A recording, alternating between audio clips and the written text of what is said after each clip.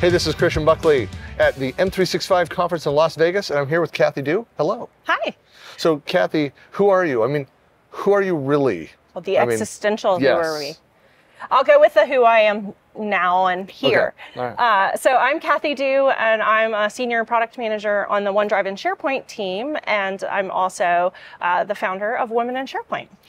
I, now I have to say, so so having just I just saw you two weeks ago. We were at MVP Summit, and one of the hardest things as an MVP is like coming to this is like we heard about a lot of things, a lot of things which were announced this week, and a lot of things that are not yet announced. And sometimes there are things which we heard about and we were told that weren't going to be announced that then are announced, and things that we were told were probably going to be announced that then weren't were not announced. That makes it very confusing of what I could actually talk about things. Um, so, um, what's new in portals?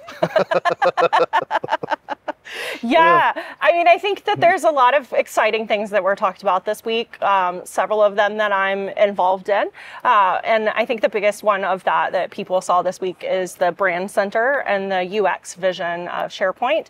Um, and so we're really excited about this. We've been working on it for a while and trying to come up with the right plan and the right level to bring back some customization into to SharePoint.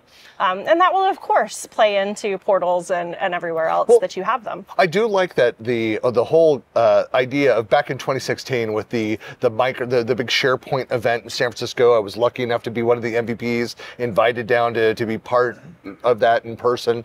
Um, was about it was all about like making SharePoint beautiful. And I think it was Jeff Teper. I can't remember. Somebody at MVP Summit said is that this is all about making Share, SharePoint even more beautiful. You know, is that is that count internally? Was that the exact phrasing that was used? I kind of look at it as we're releasing a new makeup line.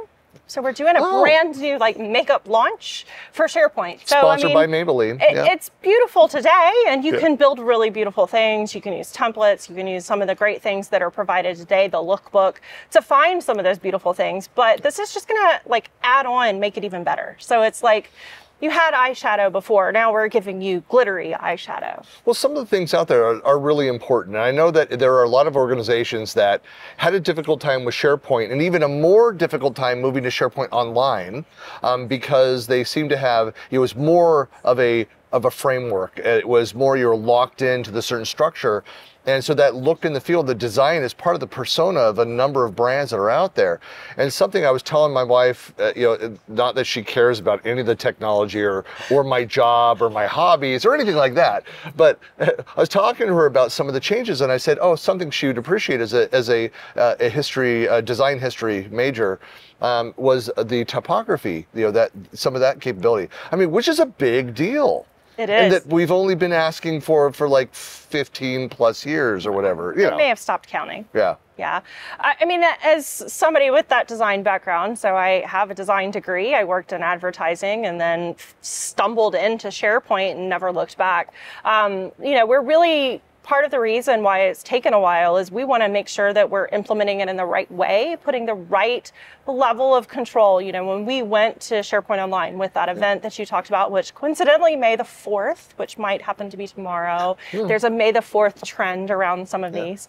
Um, Jeff really likes May the 4th. Yep. Um, and so there's a little bit here of where we wanted to kind of do that evaluation and spend the time really talking to people to understand what they truly need because in the online world it's just even more complicated. And you want to make sure you know there's that rule of like first do no harm. And so how do we put, give these great customizations in place but also do no harm? Like make sure your existing still works make sure that when you're implementing it you don't wind up with your entire intranet using wingdings Yep.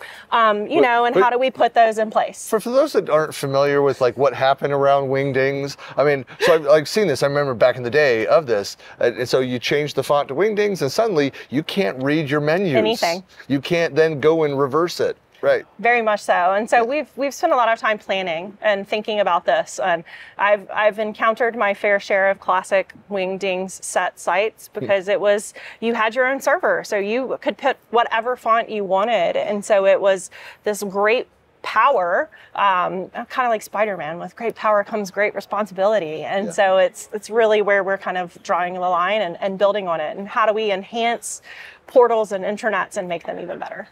You know, it is interesting where SharePoint has went from being, you know, initially, you know, document collaboration into like the portal solution, true portal solution, um, into people. I remember somebody saying like building a CRM on SharePoint, like custom, like why? Why would you do that? Can you? Yeah, yeah, you can. Should you? No, you should not.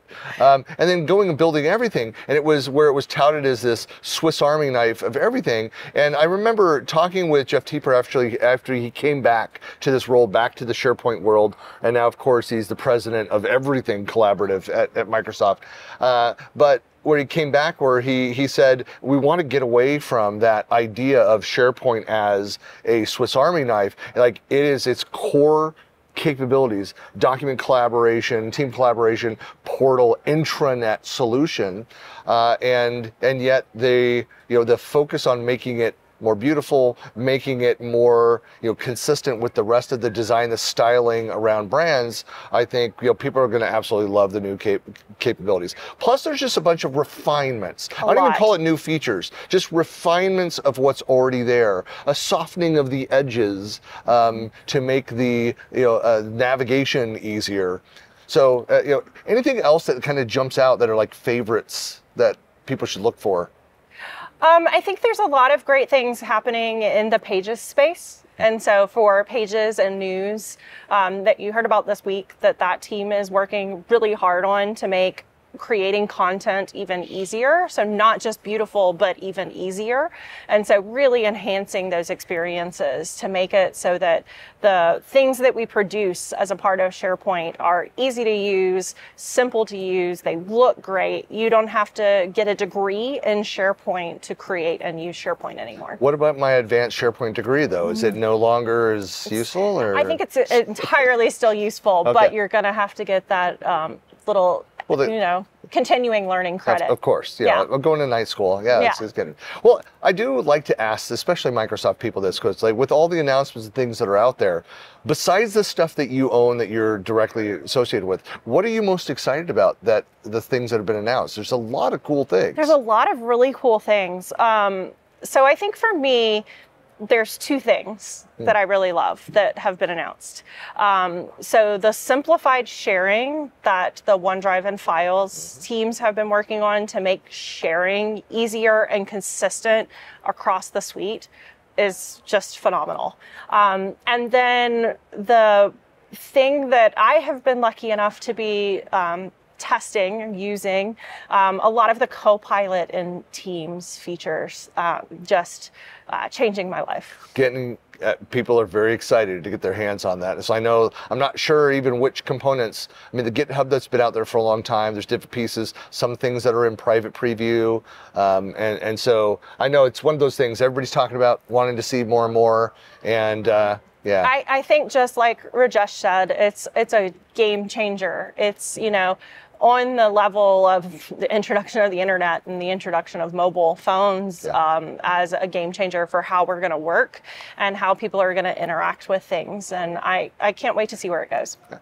Well, Cathy, really appreciate your time and coming and talk to us. And again, congratulations on so helping start the uh, the Women in SharePoint you know, back in the day. And, oh, we're so happy to yeah. still be. Uh, leading some DNI efforts and, and continuing to grow and expand uh, support systems for women in tech as well as for allies, because we have some fantastic allies in this community. I think there's there's something going on tomorrow uh, around that specifically, or did that happen today? It was today. Okay. Yeah. Well, I we was... did our 15 years of women in SharePoint and five years of women in Teams celebration today. Congratulations! And I'm uh, yeah, I was uh, of course chained to the booth, so yeah. as as happens. It's so. great. We got to hear a lot of great stories from people about what community means to them and how they got into technology and challenges that they faced, and um, give each other some, you know, advice, things that you should do and to help with career and just to keep life sane. Excellent. Well, thanks so much for your time. Thank you. Thanks for watching.